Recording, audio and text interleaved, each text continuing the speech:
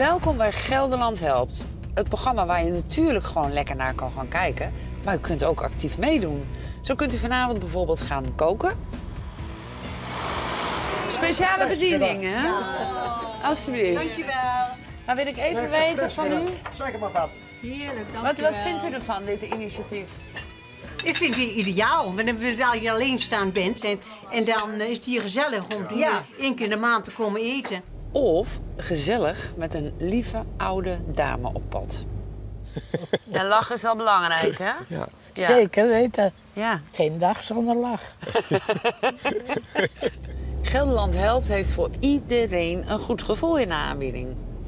En ik begin vandaag in de Zevenaar, waar ze chauffeurs nodig hebben.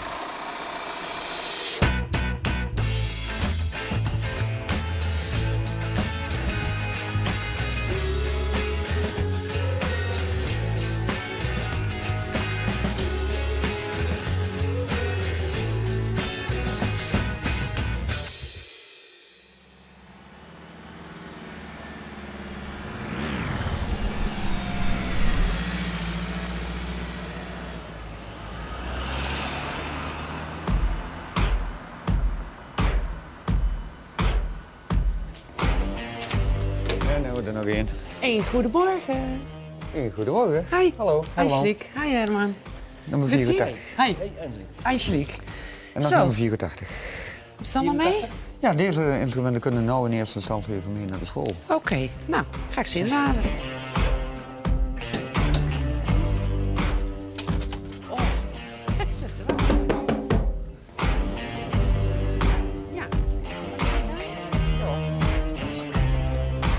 Maar vertel eens even, waar gaan we heen sowieso? We gaan nu eh, naar het Kofschip. Dat is een, eh, een basisschool. Ja. Waar we dus eh, met name na de herfstvakantie de, een soort van introductielessen geven voor de kinderen. Introductielessen, muziekinstrumenten Muziek in- bespelen. Ja, ja.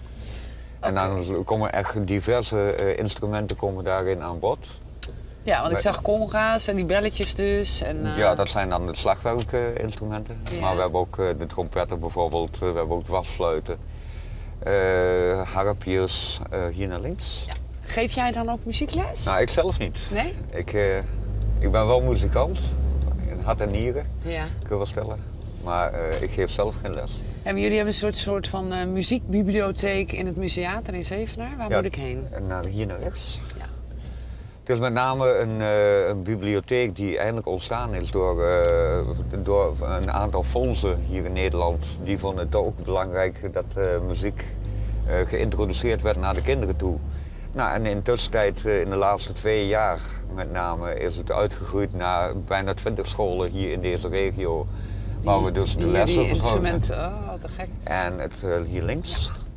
De, de lessen worden eigenlijk het hele jaar doorgegeven met Maar wel, keer. wel door eigen docenten of leveren jullie ook docenten? Wij leveren zelf ook de docenten, ja. Maar eh, Gelderland helpt, hè? ik ben nu even jouw taxi. Wat, eh, wat heb je nodig dan? Nou, we zoeken met name eh, vrijwilligers die willen helpen. Het, want zoals ik al aangeef, het hele jaar door zijn de korte projecten. Het is elke keer een week of vier dat dus een aantal eh, instrumenten bena- eh, be- belicht worden voor de kinderen.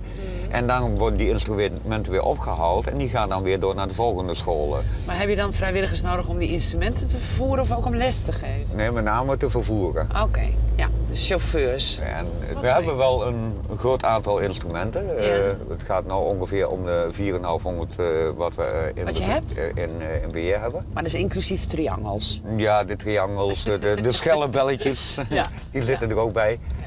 Maar met name, ja, er zijn met name de laatste paar jaren worden vrij veel bibliotheken en eh, muziekscholen worden opgeheven. En eh, samengevoegd en hier en daar overal blijven instrumenten rondzwerven. En die willen jullie En- graag hebben. Daar proberen we dus een tweede leven in, eh, in te blazen. Dat ze dus eh, Wat zeg je dat mooi? op die manier weer gebruikt gaan worden. Ja, oké. Hier gaan we rechtdoor. En eh, het maakt allemaal geen drol uit wat voor instrument het is? Nee, eigenlijk, ja goed, ik, ik doe zelf ook een heel groot gedeelte van de onderhoud van de instrumenten. Daarnaast hebben we nog een paar vrijwilligers die eh, gespecialiseerd in, eh, in bepaalde instrumenten zijn. Zodat ze in ieder geval op zo'n manier weer een tweede leven kunnen krijgen. Ja. ja. Dus alle instrumenten welkom. Maar nou ja, piano en zo is niet zo handig, hè? Nou ja, dat wordt dan een beetje lastig om te vervoeren. Maar bijvoorbeeld de elektrische piano bijvoorbeeld, Dat kan eh, weer wel. zou bijvoorbeeld wel weer Keyboard kunnen. en zo, ja. Nou, hier naar links, van Ja. deze school is het. Oh, hier gaan we heen. Oké. Dat kost het. Nou, nog even resume. Je zoekt de chauffeurs. Hoe vaak moeten die mensen beschikbaar zijn? Nou, eh, we rijden gemiddeld zo één keer in de vier weken. Dus je hoeft niet heel vaak te rijden als vrijwilliger. Nee. Leuk hoor. Ja, vooral eh, als je dan ziet dat de kinderen nou zo gigantisch veel plezier mee Ja, dat zal. Hier, hier eh, Ja, naar binnen hebben we de overgang. gooi ik jou met instrumenten er hier uit. En dan hoop ik dat er veel mensen gaan reageren. Ja, dat Hè? zeker.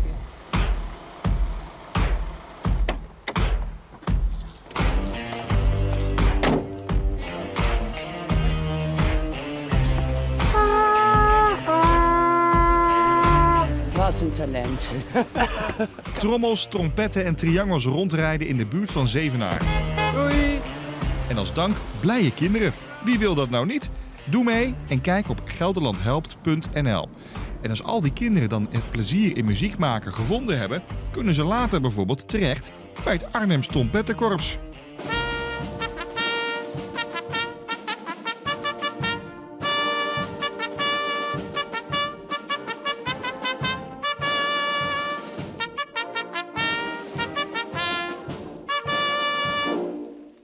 Ben jij een gedreven muzikant? Ben jij op zoek naar een uitdaging?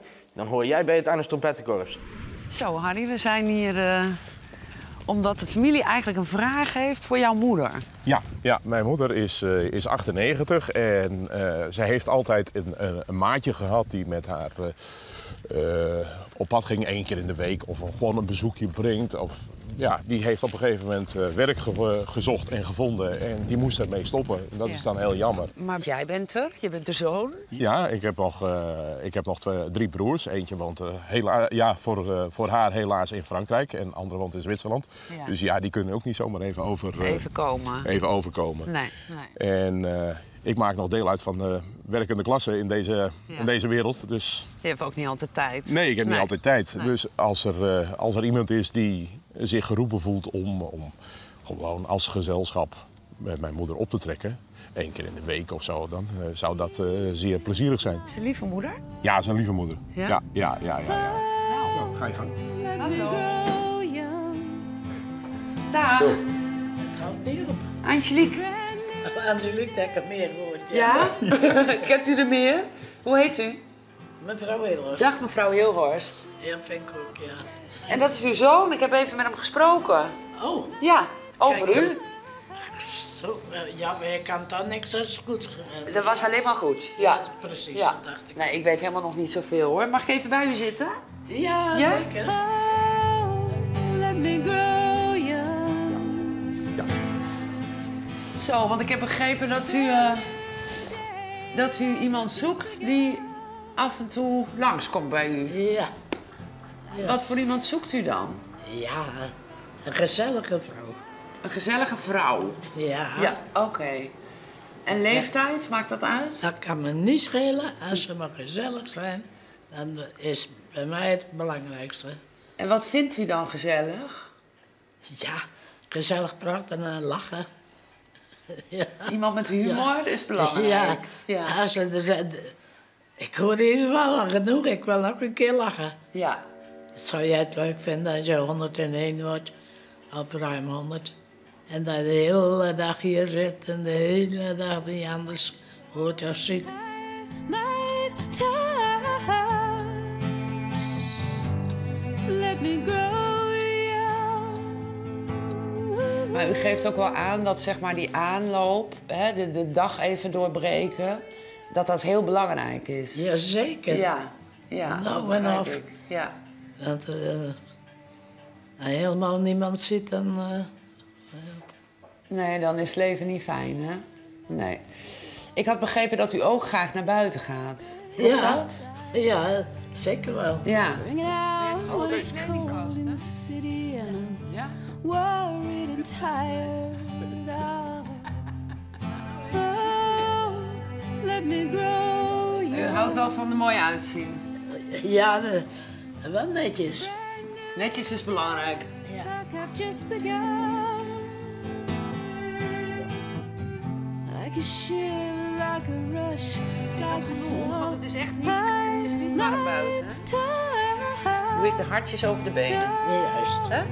Let me grow young. Oh, U woont hier al een tijdje, hè? Vijf jaar zo wat. Vijf jaar, op deze plek. Ja. En eerder een aanleunwoning hier. Juist. Ja. Daar wat aan die kant. Bevalt het wel? Daar op de, die leiding wel, die leidingwoning. Dat was prettiger. Ja. Dan ben je ook zelfstandiger natuurlijk. Helemaal. Ja, Helemaal. dat begrijp ik. En nou mag je nee doen. Niet veel. Ach, het wordt voor je gedaan. En dat is moeilijk voor een oude boerin.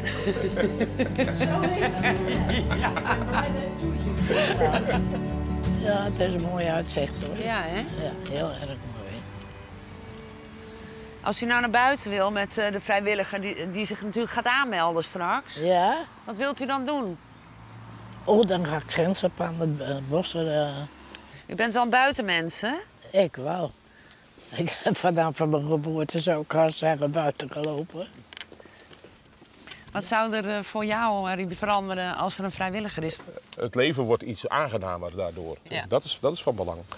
Dus ik keer meer, meer kan lachen. Ja. En lachen is wel belangrijk, hè? ja. Ja. Zeker weten. Ja. Ja, wat is het leven nou zonder lachen, toch? Mijn idee. Ja. Geen dag zonder lach. Nou, daar gaan we. Ja. En waar moet u dan om lachen? Waar houdt u van? ja, dat ligt er nog helemaal. Dat is moeilijk hoor. Dus Ja? Bent u goed in lachen? Houdt u net als mevrouw Hilhorst van gezelligheid en woont u in de omgeving van Achterveld? Kom dan van die bank af en meld u aan. Let ook op onze Facebookpagina. Like ons en maak kans op hulp. Vorige week won Kim een sessie met personal trainer Rick van der Sar. Ehm, Rick, ik heb ook een beetje vet hier. Hoe kom ik daar vanaf? Nou, begin hier maar eens mee. U weet wel, de man van gezonde en strakke lijven. Ja, dat heeft ze geweten. Laatste oefening. Je bent bijna. Facebook.com, schuine streep, Gelderland helpt. Voel je wel, hè? Ja. Oké, nou dat was het. Goed gedaan. yes. Nu bijkomen. Ja, je leeft nog. Ik ben Jorike Kroon. En ik speel in een trio samen met Lilian van den Berg. En toen de vluchtelingen hier kwamen naar Arnhem in de koepel... eh, ja, toen werden we natuurlijk ook getriggerd omdat het zo dichtbij kwam. En toen hadden wij zoiets, ja, wij willen iets voor hun doen. Wat kunnen we doen? En toen hebben we een benefietconcert bedacht. I have a surprise. We just found one instrument. And I hope it is the good one. I think maybe a little for you, but maybe you can um, do something with it. And you can practice the, the, de komende weken. De oproep eigenlijk is eh, of mensen instrumenten hebben die ze of niet meer gebruiken of eh, in bruikleen willen geven met als doel om de mensen die avond eh, dat ze kunnen spelen op die avond van de benefiet en ook al hopelijk eerder kunnen repeteren met die instrumenten, want ze willen natuurlijk ook voorbereid zijn op een mooi optreden. Tell me about those nuts. They, they are good or a little... Uh... Uh, maybe I have to hear it. Yes, try it. Maybe you can try.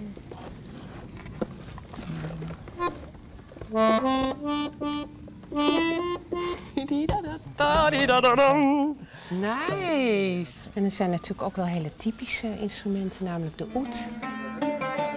En, eh, en natuurlijk ook gitaren. Er zijn ook basspelers, hebben we, heb ik net gehoord.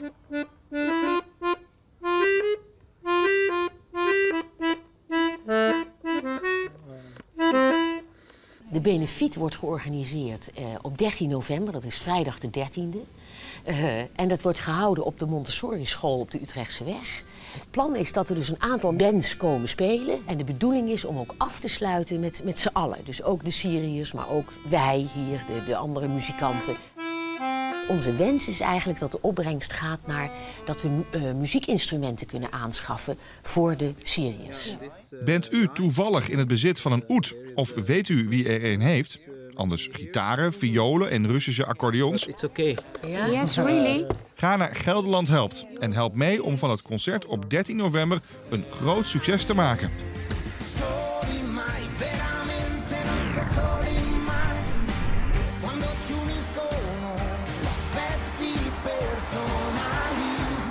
Nou, het alweer echt koud worden. En dan is het zo fijn dat er op verschillende plekken allemaal warme mensen zijn die lieve dingen voor anderen doen. Zo ook in Epe, waar ongeveer een jaar geleden het idee ontstond om voor alleenstaande mensen iets te organiseren. En wat gezelligheid te bieden. Nou, wat kun je dan beter doen dan samen eten, lekker koken.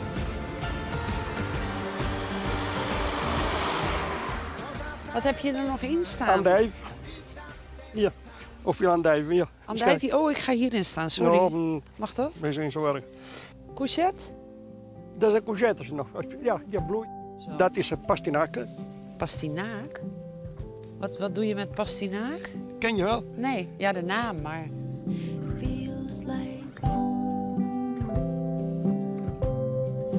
Feels like home. Jeetje. Oh, het is een soort rettig-achtig. Ja, dat is de redik, maar het is pastinaken. Ja. en Antonio, je kookt altijd uit eigen tuin? Ja. Ja? Meestal wel. Niet alleen voor jezelf, hè? Ik kook ook graag. Ik kook ook graag voor, eh, voor mensen. eh, Ja, vrouwen die alleenstaande zijn. Alleenstaande, ja. Die niet, eh, ja, hebben heel weinig om te doen. Voor gezellig, Voor gezelligheid, elkaar, ja. Dat doe je met plezier. Dat is, ik, bedoel, ik bedoel, koken, het is niet gezegd dat je kok moet zijn. Nee. Koken, je hebt twee handen. En je verstand. En je hart. Dan moet je gaan koken. Ja. Ja. Zo. Zo doen we Dus dat. Italianen houden ook van andijvie. Waarom niet? In ik het- veel. in het Rijn ook. Andijvie. Pastinaak. Naar de keuken.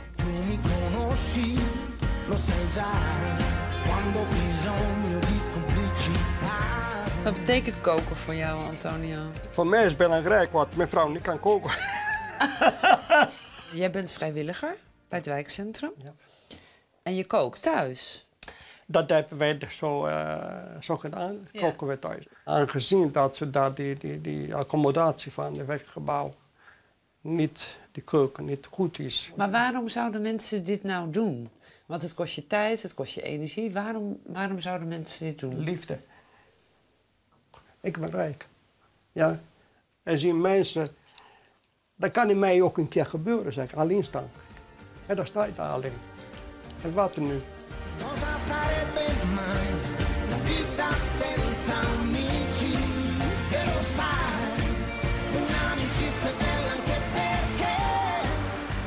Strakjes zien we voor wie Antonio dat lekkere eten allemaal maakt. En voor wie u misschien straks ook wel wilt gaan koken.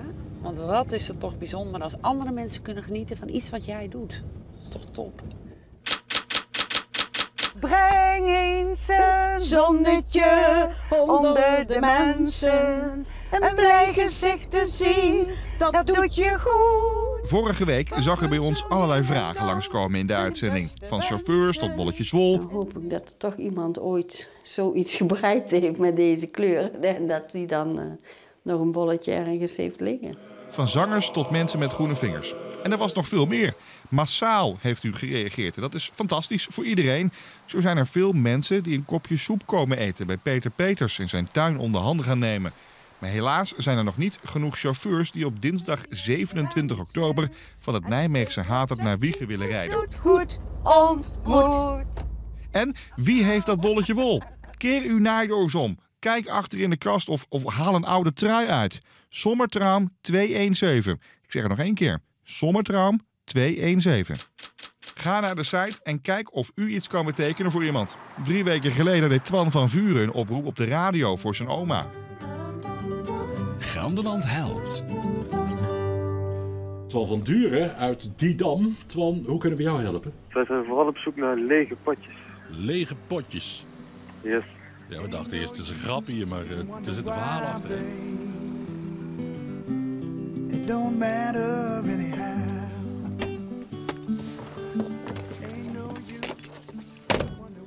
Hallo. Hallo. Angelique. Hallo, Rit. Dag Riet. Ik kom voor de jam. Ja, dat kan. Ja. Er staat gewoon een, eh, een tafeltje aan de weg. Met een bakje met geld. Ja. Dat kan gewoon in Babbe, niet? ja, wel hoor. Ja? Op goed vertrouwen. Je hoeft niet op te letten. Nee hoor, Nee? echt niet. Nee. Wat, wat heb je allemaal eh, staan voor jam? Ik let alleen nog op dat de potjes eh, verkocht zijn, dat ik weer bijval. Ja, op tijd. Ja. En eh, dat is niet voor eigen gewin, hè? Nee, de, eh, alle opbrengst die gaat naar de KWF. De kankerstichting. Ja. Ja. En waarom? Ja, omdat ik er zelf mee geconfronteerd ben. Ik hoorde in 2013 in maart dat ik keelkanker had. En laatst augustus hoorde mijn man dat hij longkanker had. En is ook hetzelfde jaar in december is hij overleden. Zo, een verschrikkelijk jaar. Ja. Ja. Walking down that long, lonesome road, babe. Like you never did. Wat heb je nodig? Gelderland helpt. Ja, lege potjes. Potjes? Ja. Nou, is er al een oproep gedaan op radio? Ja, en er is al massaal gehoor aangegeven. Zullen we even de auto uitladen? Nou. Nou. Oh, wacht even. Jij bent sterk. Zie je? Nou, geweldig, geweldig. Heb je hem? Ja. Mooi. Hartelijk dank. Goed, hè? Oké. Hartstikke idee. Betekent dat nou dat je het niet meer nodig hebt? Of blijf je, heb je er nog meer nodig? Want, Ik, ja, blijf, ik blijf gewoon doorgaan met jam maken. ja, dus je hebt nog wel meer nodig. Ja, alles. alles. Laat maar komen. Kom maar, naar Barberich. Ja, Doe jij het? Ja, ik doe het. Die pakken? Gewoon gesneden pruimen. En nu? Wat moet ik nu doen? Blijven roeren tot het kookt. Dat duurt een eeuwigheid. Zo. Filled with compassion, not scarred. Dat is je kleinzoon, Nee, dat toch? is de, de vriend van mijn, klein, van, eh, mijn kleindochter. Oh, wat lief. Ja. Kom er eens bij. Hoe heet jij? Twan. Twan. En jij hebt de oproep gedaan op radio? Ja, klopt. En eh, maar zie je haar dan als een soort van oma? Ja, zeker. Ja, Ja? ja? ik ben onderhand ook al eh, bijna vier jaar bij de familie. Dus. Ja, dat is al lang. Dat is al heel lang. Ja.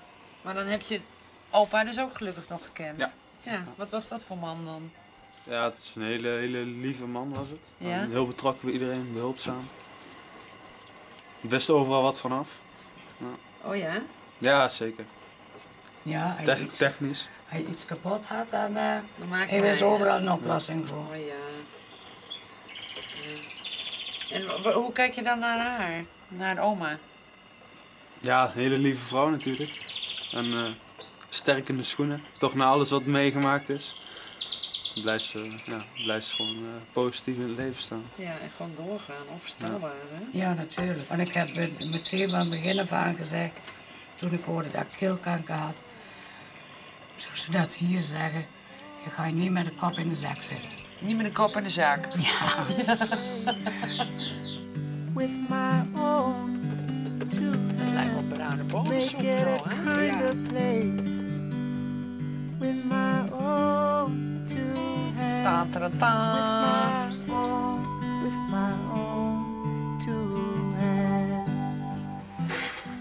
Echte Barbariese jam. Nou is het klaar. Nou, doe maar vier potjes. Ja? Ja. Oké. Succes, hè? Doeg. Oma Shem, hè? Oma Shem.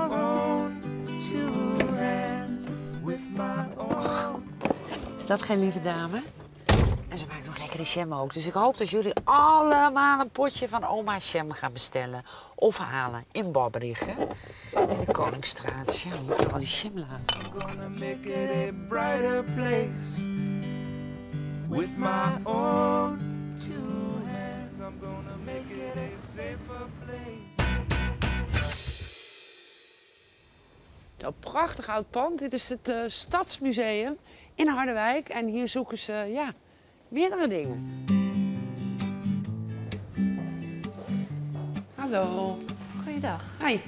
Kom je het museum bezoeken? Als je de krug Nou, ik wil Oh. zeker het museum zien. Nou, welkom. Het zeggen. Stadsmuseum. Maar jullie zoeken ook eh, wat, heb ik begrepen. Ja, vrijwilligers zoeken wij. Ja. We Ben je zijn- zelf ook een vrijwilliger? Ja, ik ben zelf ook een vrijwilliger, ja. En ik- één keer in de week, een middag of een ochtend. En één keer in de maand, een eh, zaterdag of zondag, sta je hier een halve dag. En waarom doe je dit?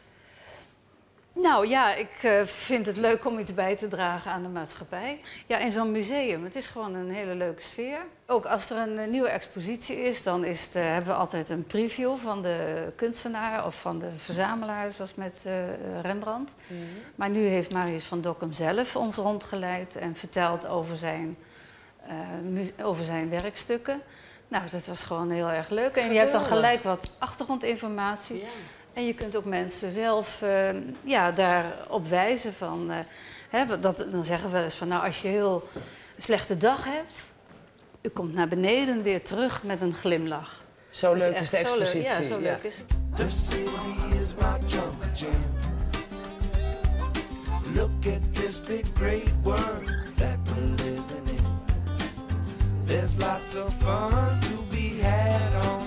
Toen ik met Marius eh, van Dokkum in contact kwam over deze tentoonstelling, stond dit werk nog in zijn atelier. Was hij er nog mee aan het werk? Oh, wauw. Dus het is heel leuk voor mij om hem hier eh, op deze manier terug te zien. Mhm. Het werk heet Groen, met hoofdletters en een uitroepteken erachter. Geen groen te zien. Geen groen te zien. Nee. Deze dame die staat voor een stoplicht en die staat op groen. Maar mevrouw is heel druk bezig aan het appen. En die vrachtwagenchauffeur die zit erachter en die, die neemt deze houding aan. Hè, van, hij toetert er waarschijnlijk met zijn andere hand bij van... kom op mevrouw, mensen kijken verstoord. Het hondje wat er achterop zit, de tas staat ernaast. Dus daar kun je eigenlijk aan zien van mevrouw is ook niet binnen een paar tellen weg. Dat duurt nog wel eventjes.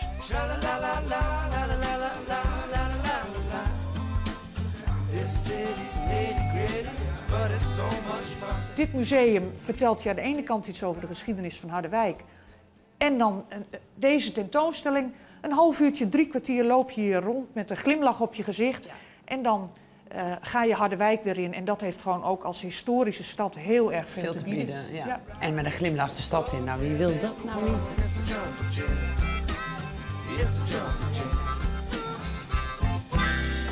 Je iets gevonden? Nee, ik zal alles wel meenemen, maar dat doe ik niet. Hè. Nee, u mag toch iets meenemen? Is het weggeefkast? Ja. Ja, staat er niks in? Voor mijn kleinzoon of zo. Ja, ja, die vindt die bus geweldig. Neem nou mee. Moet je kijken wat een er leuk ding. in doen. Voor je kleinzoon. Ja? Schuif En dan de vol. volgende keer als u hier weer terugkomt, kunt u weer iets in de, in de kast eh, neerleggen. Het is voor het eerst van dat ik in het museum in Harderwijk kom. Oh, nou, maar ik kom vast wel een keer terug. Vond u het leuk? Ja. Mooi. Ja. Goed zo. Gaan wij het even over de weggeefkast Ja. hebben? Want het loopt goed hier in Harderwijk, loopt heel hè? erg goed. Mooi, Ja. goed gevuld. En jij hebt ook iets wat je erin wil gaan Ja, leggen. ik heb eh, van het Stadsmuseum eh, voor de expositie van eh, Marius van Dokkum de flyer. Ja. En daarachterin hebben we twee vrijkaarten. Dus wanneer mensen die, deze mee willen nemen, dan kan dat. Dan kunnen ze hem ophalen uit de weggeefkast. En je gaat hem en dan, hierheen Ik ga hem hierin inzetten. Ja. En dan moeten ze zelf ontdekken. Nee, dus dat je moeten gaat niet mensen attenderen van hier staan nee, vrijkaartjes. nee, nee, nee. Nee. En dan vervolgens, als je, ik zou jou ook eh, drie stuks mee willen geven. Ja, wat leuk. Zodat je die eh, in een andere weggeefkast eh, neer kan leggen. Elders in Gelderland. Elders in Gelderland. Heel hartelijk Dankjewel, super. Nou, ik ga eens even diep nadenken waar ik ze neer ga leggen. bedankt. Vast goed. Dankjewel, hè. Dankjewel. Doeg. En wilt u ook naar het Stadsmuseum in Harderwijk? En geloof mij, dat wilt u. Ergens in drie weggeefkasten in de omgeving van Harderwijk liggen de vrijkaarten op u te wachten. En als u dan toch bij de weggeefkast bent, pak er dan gerust nog wat meer uit of leg er wat in. Het mag allemaal. En voor de winnaars alvast veel plezier met de schilderijen van Marius van Dokkum.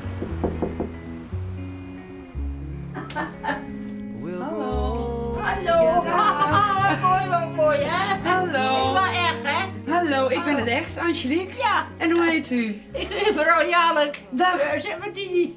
Oh, dat is leuk. Dini of Didi? Dini. Dini. Ik eh, ben uw taxi. Ja, zeg het dan nog. Ja. ja? En twee.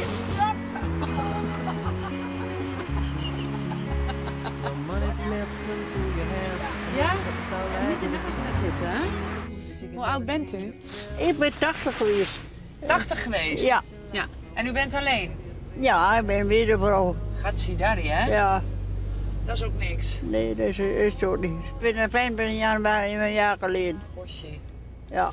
En hoe lang was u samen dan? Oh, ik heb een 58. Ach. Ja. Ja. En hoe is dat dan als je dan ineens alleen komt te staan? Ja, heel daar. Ja. Ja, dat is niet fijn. Alleen in je bedje, alleen Ja, op de bank, ja, ja. alleen aan tafel. Aan tafel, je kunt niks praten. Hè? Het is gewoon saai, of Ja, niet? dat, dat is niet leuk, nee. Maar u gaat nu naar het wijkcentrum om te eten. Ja, maar je moet er een keer uit, toch? Oh, je moet Ik wil daar een beetje onder de mensen. Ja? Ja. Dus Ja. dit is eigenlijk gewoon, u gaat nu uit eten? Ja. Ja. Ik heb er een beetje op gereden. Ik heb vanmiddag alleen maar een beetje soep gegeten. Dus. Oh, u heeft flink gat in de buik gehouden Ja, ervoor. Oh, dat is leuk. Gaat het? Ik ben er. Sta je daar? Ja, ik ben er. Het is ook veel te krap. Er is achter de paal neergezet hier. Je, je, je hebt me zo niet goed gezet. Nee, ja, het is ook mijn schuld natuurlijk. Together. Ik ben benieuwd wie er allemaal zijn. And this love will never. This so love. Ik wens iedereen eet smakelijk. Speciale bediening, hè? Alsjeblieft. Dankjewel. Nou wil ik even weten van u. Zeg maar wat. Heerlijk, Wat, dankjewel. wat vindt u ervan, dit initiatief? Ik vind die ideaal, wanneer je alleenstaand bent. En, en dan is het hier gezellig om Ja. één keer in de maand te komen eten. Het is beter als alleen. Zo. Ja, dat dat is, gezellig met elkaar. Je eet alle dagen al alleen, hè? Ja. Dus dan, eh, als je dan met een groep eet, dan eh, ja, dat vind ik veel gezelliger. Dat vind ik veel gezelliger.